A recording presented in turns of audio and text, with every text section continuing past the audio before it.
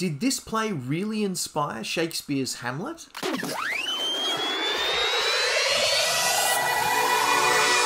Good evening and welcome to day 25 of the 100 Days of Shakespeare event. I am super pleased to have you here. If you're here for the first time, hello. My name is Paul Adams from Small Crown Productions, and if you are returning, then welcome back. It's good to have you here. The 100 Days of Shakespeare event is um, too much to go into now. I've talked about it a few times. I will pop a link here to the first video that I did in this series so that you can go back and have a look at that and get the explanation of what it is.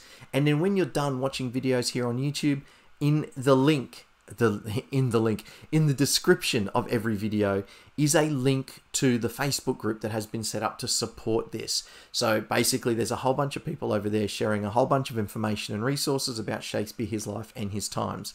Oh, there I said it. I talked about it again. But anyway, so that's what the event is. At your own pace, research how you want. It's just about people celebrating the work, life, and times of Shakespeare. But tonight, what I want to do is have a look at one of his contemporaries' plays and and dig into this because this is a groundbreaking play. This play is is well, it was one of the most performed plays of its day. It was one of the most popular plays of the time, and it was absolutely groundbreaking.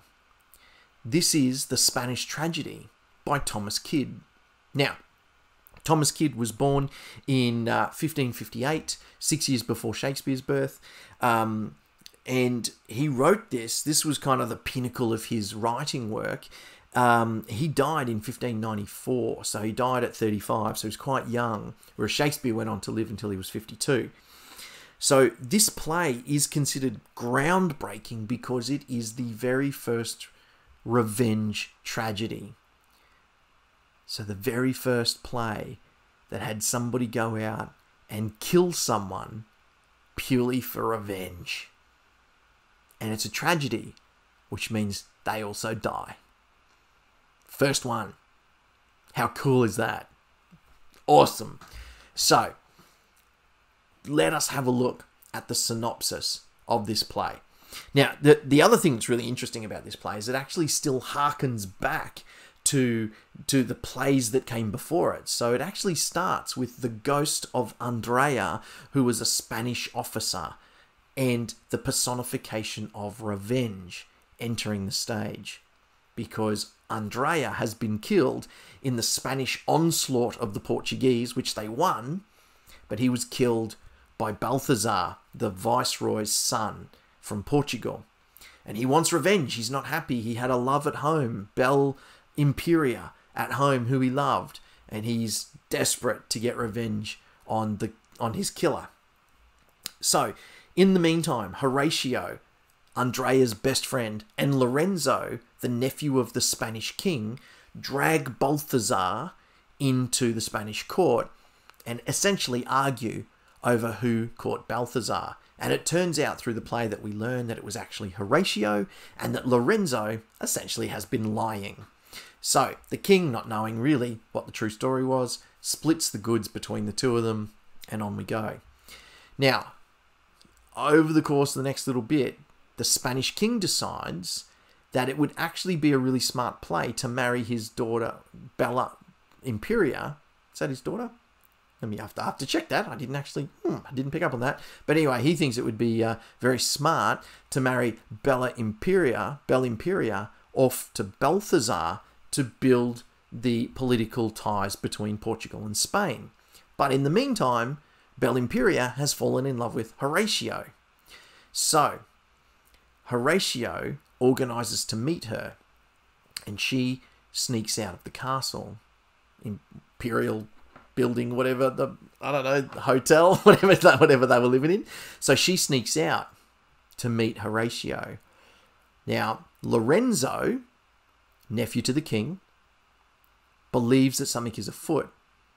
And so he actually bribes her chambermaid and finds out that she snuck out. He and a couple of other guys get there first and they kill Horatio. They hang him and leave him hanging in the garden. And they drag Bella Imperia off. Now they lock her up And her dad, Hieronymo, is trying to work out what's going on. She finally gets a letter snuck out to him, written in her own blood, that explains the situation and accuses Lorenzo of killing Horatio. So Horatio, sorry, Hieronymo decides that he is going to get revenge. Now, all the time, we've got the ghost of Andrea and the personification of revenge starting every scene of the play.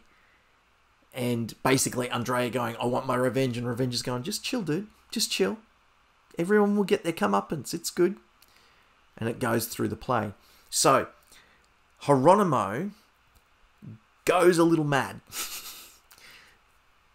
Basically, goes a little crazy. So, there's a little bit of storyline that happens around there. But eventually, gets himself pulled together and gets to a position where he can convince um, Bel-Imperia, Lorenzo, and Balthazar to perform a play to entertain the court.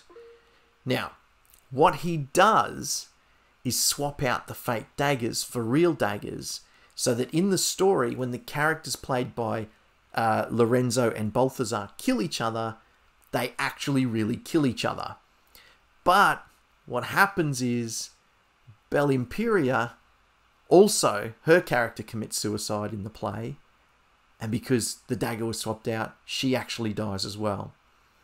Horatio, uh, admits to the Spanish king, or the duke actually, uh, what happened and why he did what he did, bites out his own tongue so that he can't be tortured, kills the duke, and then stabs himself and dies. How's that for an ending? There you go. That's the show in a nutshell. It's obviously a lot longer than that, but there you go. So, couple of things that we see here. We see the ghost starting the play. Sound a bit like Hamlet? Revenge. Sound a bit like Hamlet? Play within a play. Sound a bit like Hamlet? Not to mention Thomas Kyd having written an early, or believed to have written, an early version of Hamlet himself before the Spanish tragedy. So, all of these pieces you can see taken out, and we see them rewritten in Shakespeare's version of Hamlet, and different versions of them appearing in other plays by other contemporaries. So the Spanish tragedy is said to have inspired not only Shakespeare, but Ben Jonson and Marlowe as well. And no doubt a whole bunch of other playwrights that we just don't know enough about because they just didn't make enough of a mark at the time. But the impact of this play was huge because of what it was. Super cool stuff. Really exciting. And the fact that we can still see this play, we can read this play, is awesome. So I definitely encourage you to track down a copy of it, have a read, and uh, hell, put a production of it on and uh, perform the very first revenge tragedy in English history. There you go. Uh, it would be great if you could give this video a like, subscribe to the channel, and of course, if you know somebody else that might find some value in this, share it with them. Tag them in the comments. Give it to them. Whatever you got to do, pay it forward. Let's help each other out. That's what we're all here for.